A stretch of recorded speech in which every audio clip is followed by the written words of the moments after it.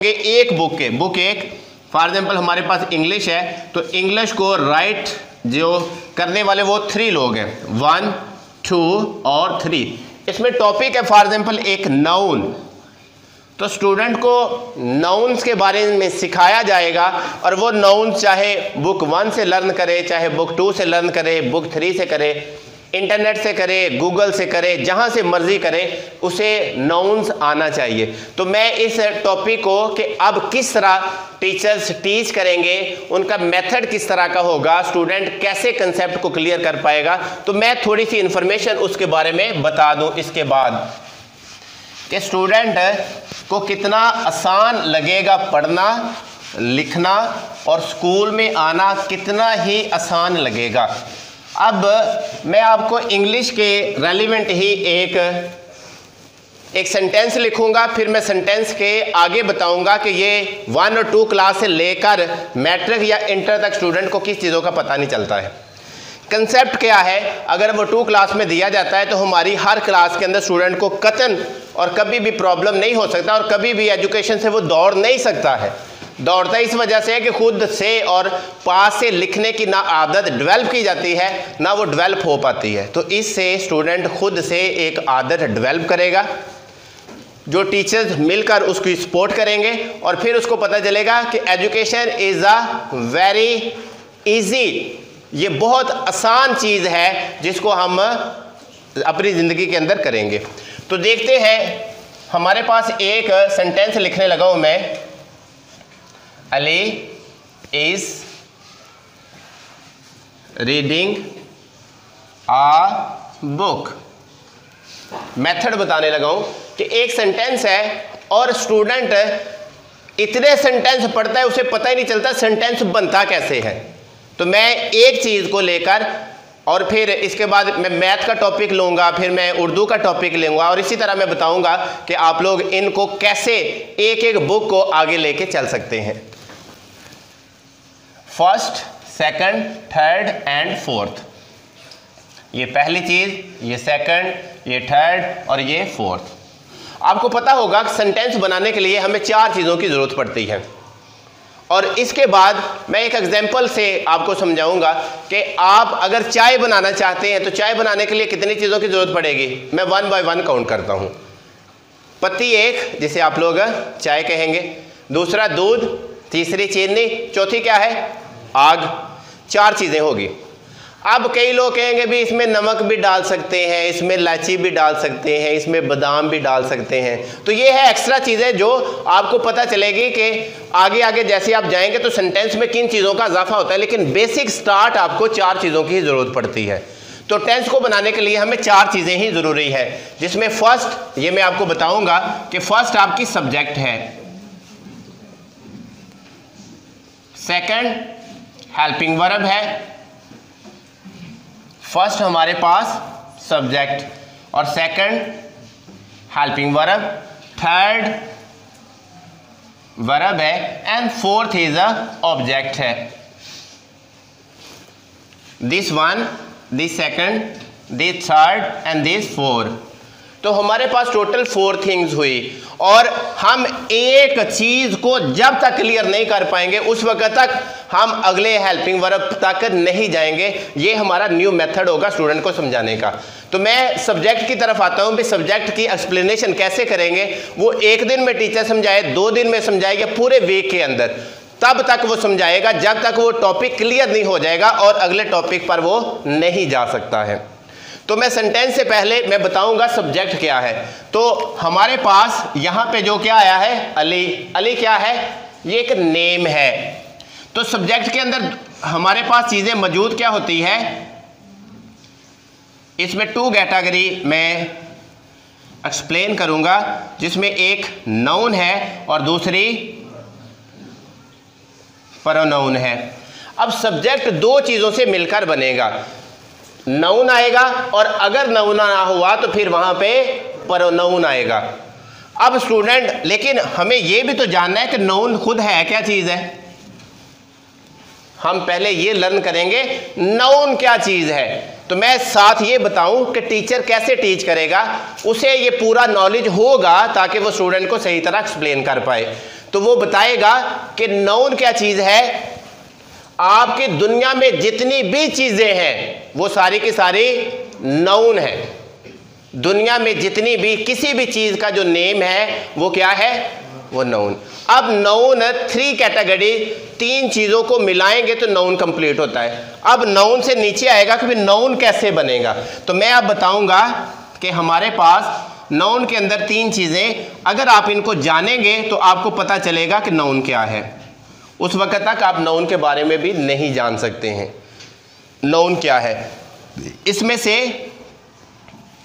पहली चीज़ आती है पर्सन अब पर्सन क्या है स्टूडेंट ये जानेगा भी पर्सन क्या है। जब तक ये नहीं जानेगा, उस वक्त तक आगे नहीं जा सकता है। इसलिए पर्सन मैं आपको बता दूँ, मर्द, औरत, बच्चा, बड़ा, बच्ची, बच्चा या बच्ची मैन वोमैन मेल फीमेल मर्द औरत, इसके बाद डॉक्टर, इंजीनियर, कसाब, बिजनेसमैन, शॉपकीपर, ये दुनिया में जितने भी शख्स की आपको हालत में मिलेंगे, वो सारे के सारे क्या है? वो है पर्सन। दादा, दादी, नाना, नानी, ये जितने भी ख़ानदान के मेंबर, अरकान, इसके अलावा जितने प्रोफेशंस हैं, वो सारे के सारे क्या है? वो पर्सन है, उनको पर्सन कहा जाता है। तो मैं पर्सन को सीखूँगा भी पर्सन क्या चीज़ थी। तो मैंने आपको बताया कि दुनिया में जितने भी मेल है, जितनी भी फीमेल्स हैं डॉक्टर्स हैं इंजीनियर्स हैं, आपके वकील लॉयर्स हैं, वकील्स हैं शॉपकीपर्स हैं तो ये चंद नेम मैंने लिख दिए, बुआई लिख लिया, मैंने घर लिख लिया तो ये सारी चीज़ें पर्सन में शामिल है। एक हिस्सा आप समझ चुके हैं। अब आपको पता चलेगा फादर आ जाए मदर आ जाए ग्रैंड मदर आ जाए ग्रैंड फादर आ जाए आपका कोई भी पर्सन कोई आप आ, मिस्त्री को ले लें आप लोग किसी मजदूर को ले लें किसी बढ़ाई को ले लें किसी ठेकेदार को ले लें ये सारे के सारे लोग क्या हैं? ये है पर्सन और जब तक पर्सन अब क्लियर क्यों भी पर्सन क्लियर हुआ है? अब पर्सन के बाद आगे चलें। भी हमारे पास इसके बाद ज़रूरत है थिंग की। नॉन की नॉन के अंदर क्या चीज़ें शामिल है? थिंग अब थिंग क्या चीज़ है? दुनिया की जितनी भी चीज़ें हैं, चाहे वो टेबल है, चाहे वो चेयर है, आप लोग क्लासरूम में चेक करो, ये फ़ैन है। इधर से ये आपका एनर्जी सेवर है, आपका डोर है, आपका चेयर्स है, यहाँ पर डाइस पड़ा हुआ है, ये वाइट बोर्ड है, ये मार्कर है। दुनिया की हर वो चीज़ जिसका कोई ना कोई नाम है, चीज़ का, उसको हम क्या कहेंगे कि वो क्या है? वो आपके पास नोन में आएगा थिंग आ गया। तो हम थिंग के अंदर क्या क्या चीज़ें नोट कर सकते हैं? आप चेयर ले लो, फिर उसके बाद आप टेबल ले लो, आप पेन ले लो, आप बुक ले लो, आप नोटबुक ले लो। तो ये तमाम चीज़ें क्या आ गई? थिंग्स के अंदर आ गई। समझ आ रही है? आगे थिंग्स के बाद आ गई प्लेस थिंग्स के बाद तीसरी चीज़ क्या आ गई? प्लेस जगह आ गई। अब जगह क्या है? स्कूल क्या है? जहाँ पढ़े आप। दिस इज़ अ प्लेस तो ये आपकी जगह है। तो आपको फ़र्स्ट कहाँ से पता चला जगह क्या है? स्कूल होम क्या है? प्लेस हॉस्पिटल क्या है? प्लेस इसके अलावा आप और जगह मैं अभी दो चार चीज़ें और के बारे में बताऊँगा ताकि आप लोग जान सके कि हमारे पास स्कूल है होम है हॉस्पिटल है, शहर क्या है? ये प्लेस है जहाँ पे रहते हैं। जो कंट्री मुल्क क्या है? ये प्लेस है विलेज जो है, ये क्या है? ये प्लेस है, कोई कॉलोनी है, वो क्या है? वो प्लेस है। तो ये आप इस तरह दुनिया जहान के हर मुल्क को प्लेस कहेंगे। आप हर शहर को प्लेस कहेंगे। अब हर गाँव को प्लेस कहेंगे। तो जितनी चीज़ें हैं, आपको वो थ्री कैटेगरी के अंदर हमने कन्वर्ट कर लिया। इसकी डेफिनेशन क्या होगी? ये देखो, बड़ी आसान सी डेफिनेशन कि स्टूडेंट सीख सकता है person thing or place is called noun so simple हमने कुछ इसमें ऐड नहीं किया।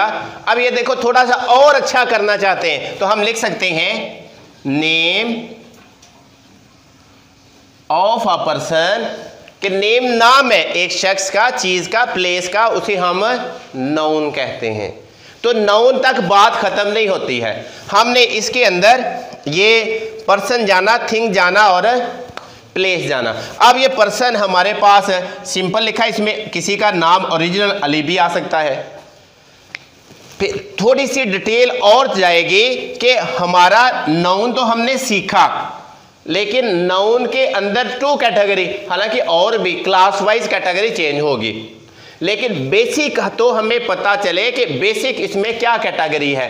तो हमारे पास नाउन से फ़ौरन बाद दो थिंग्स बहुत जो इंपॉर्टेंट है, जो डिस्कस की जाती है, वो एक कॉमन नाउन है और एक प्रॉपर नाउन है।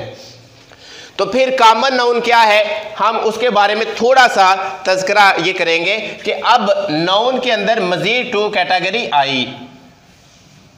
नाउन के अंदर। One is a common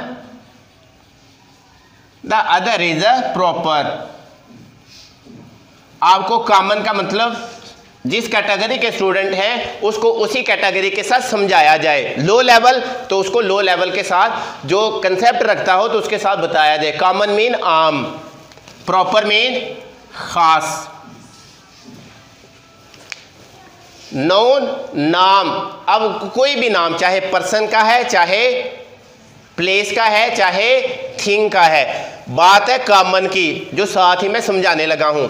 common boy मैं क्लास में कहूँ एक्सक्यूज मी एनी बॉय जब मैं बॉय की बात करूँगा तो क्लास में 50 लोग बैठे हैं तो वो कोई भी बॉय हो सकता है। वो सभी अटेंटिव होंगे कि पता नहीं मुझे बुलाएँगे मुझे बुलाएँगे या किसको बुलाएँगे। तो ये है कॉमन। लेकिन अगर मैं कहूँ कि एक्सक्यूज मी अली तो यहाँ पे सिर्फ़ जो अली बैठा है, मेरी तरफ़ सिर्फ़ वही मुतवजे होगा। तो ये क्या होगा?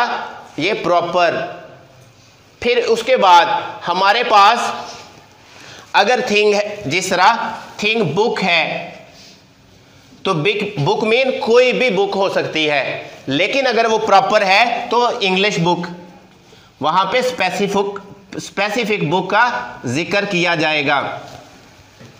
ये क्या है? अब इसके अंदर एक और चीज़ है जो बताई जाती है। कॉमन हमेशा स्मॉल लेटर से स्टार्ट किए जाते हैं। अल्फ़ाबेट के स्मॉल लेटर और प्रॉपर नाउन जब भी आएगा, वो कैपिटल लेटर से ही स्टार्ट किया जाता है। तो ये हमेशा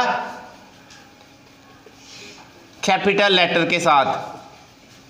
तो ये हमारी गवर्नमेंट साहब ये करना चाह रही है कि स्टूडेंट को टीचर समझाए कि वो वो इधर, ये नहीं कि वहाँ से लेकर यहाँ तक चीज़ को तैयार करो। फिर इसके बाद अगला काम क्या होगा? अब पर्सन थिंग जब वो चार पाँच बताएगा तो आगे स्टूडेंट को कहेगा कि आपने दस पर्सन और ढूंढ कर लाने हैं, वो कोई भी लाओ। दस थिंग्स ढूंढ कर लाओ, वो आप लोग जो चीज़ें समझी हैं। फिर इसके बाद दस प्लेस तो ये उसका, ये उसने क्लास में समझा, इसको उसने समझना है। अब दोबारा हमारा स्टूडेंट क्या करता है? जो क्लास का वर्क होता है, वही घर जाके दोबारा करके अगले दिन आ जाता है। लो जी क्लास वर्क अगले दिन होमवर्क क्लास वर्क खत्म हो गया और अगले दिन घर जाके क्या करना है? टेन टेन और टेन। ये होमवर्क करके लेना उसने। और क्या होमवर्क हो सकता है? और ये कहेगा कि अब आपने कॉमन और प्रॉपर अब कॉमन नाउन टेन ढूंढ कर लाओ। और टेन प्रॉपर नाउन और ये अब उसने खोजने हैं। लेकिन हमारे क्लास में सारे के सारे स्टूडेंट एक दूसरे को क्या करते हैं? कॉपी एक ने लिखा अमजद, दूसरे का भी अमजद, तीसरे का भी अमजद, चौथे का भी अमजद, पंजवे का भी अमजद। एक ने लिखा दी हाइट स्कूल सिस्टम, दूसरे ने लिखा height school system, height school system, height school system. किसी को पता ही नहीं करना क्या है। तो मेरे ख्याल में ये इस तरह हमारी आने वाली नस्लें इसे भरपूर फ़ायदा लेंगी और उनको पता चलेगा हम स्टडी किस तरह करेंगे। तो ये इंग्लिश का थोड़ा सा कंसेप्ट था। इसके बाद मैं जो चाहते हैं कि उन्हें उर्दू के कंसेप्ट के बारे में पता चले, उन्हें मैथ के कंसेप्ट के बारे में पता चले तो मेरे वीडियोज़ को लाजमी लाइक करो और बेल आइकॉन को दबा दो साथ। चैनल को सब्सक्राइब कर लो ताकि आपको तमाम नई इन्फॉर्मेशन और मेथड मिल सके। अगर आप लोग चाहते हैं, चाहे स्टूडेंट है, चाहे टीचर्स हैं, वो चाहते हैं कि हमें कोई सिखाने वाला, हमें बेहतरीन मेथड चाहिए तो कमेंट लाजमी कीजिएगा और इन मैं उसके रेलिवेंट आपको वीडियो बनाकर नेक्स्ट डे फॉरवर्ड कर दूँगा। पता चल जाएगा कि मेथड क्या है। स्टूडेंट को टीच किस तरह किया जाता है। तो ये उम्मीद करता हूँ आप लोग सब लोग इससे फ़ायदा लेंगे। आने वाली नई जो तलीमी पॉलिसीज़ है, हमारी दुआ है कि पाकिस्तान के लिए और आने वाली नस्लों के लिए वो बेहतर से बेहतर साबित हो। अगली वीडियो तक इजाज़त दीजिएगा। अल्लाह निगेबान।